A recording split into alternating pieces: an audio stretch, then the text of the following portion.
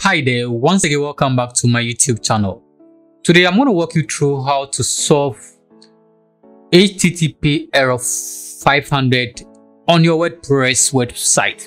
So most of the time with this error, you may not know where exactly this error is coming from, but I'm going to show you a simple way to identify this error and then how you can solve it. Most of the time, you may like to disable your WordPress plugins and then identify whether it's coming from the WordPress plugins. But in this case, you can't even log on to the admin section. So you can see from the top over there. So in order to do this, you have to first go into your control panel. So log onto your control panel and then open the file manager. Open file manager from the control panel, which I've already done. I've opened the file manager. So you have to identify which of your domain names the error is coming from. In this case, my own is coming from kdeonline.com. So that is the domain name that is causing that error. So open that domain name. I've already done that. There's the domain name, the kdeonline.com. You can see your WordPress files right here.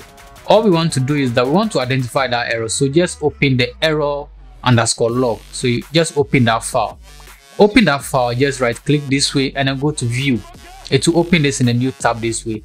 And then you should be able to identify where the error is coming from per the date.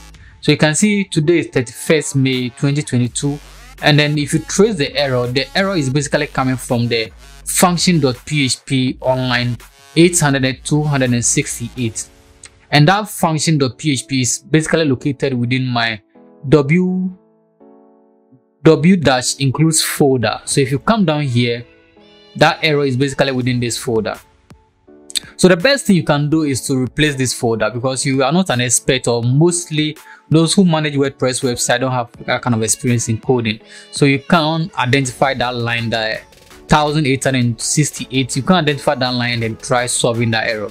So the best you can do is to replace this particular folder, that's the W dash includes folder. You have to replace it. So you have to go to wordpress.org slash downloads and then download the latest version of the WordPress and we're going to get a content of that. We'll get only this and then upload it via a file server or just use any file management system like FileZilla to upload this onto the website and replace this.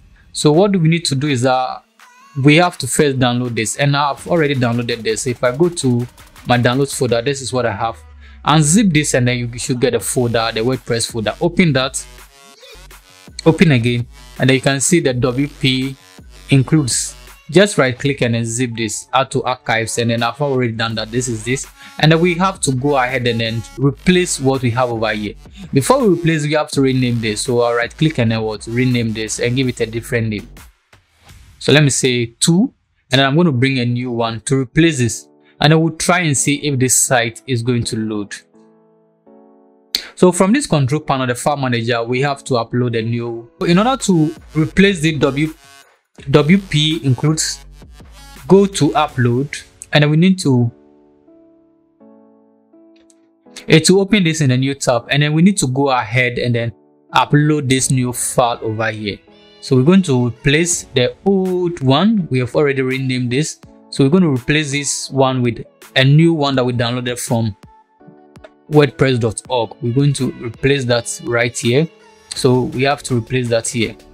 So in order to do that go and then upload. Just drag this from here. And then drop it here to upload it. So you can see the progress over here.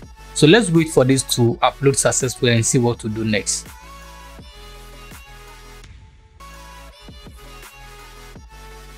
so this has been uploaded successfully the w includes file has been uploaded successfully. Just close this tab, go back here and then reload the page. So we should be able to identify the zip file from the list. So this is the zip file right here. So we have to unzip this. So right click and then go to what extract. So we need to extract it into the same website folder. Click on extract file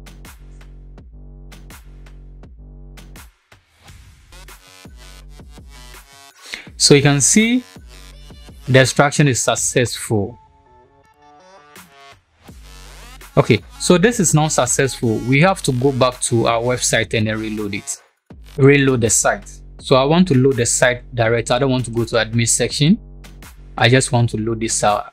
And see we've been able to identify the root cause of this problem and then we've managed to resolve it. So the site is back on all you need to do is that the files that you open you know where the issue is coming from.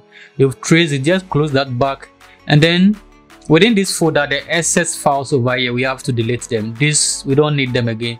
Just select and then delete those ones from your file manager because it's just going to take space on your hard drive. That's the space you have for your hosting. It's just going to take space so you have to delete all the files extra files that you don't need. That is all you need to do. Once that is done then you are good to go. You can log on to your website again and then continue whatever you are doing. Thank you so much for watching this short tutorial. Remember to like subscribe and don't forget to turn on post notification. Till i come your way again. Bye bye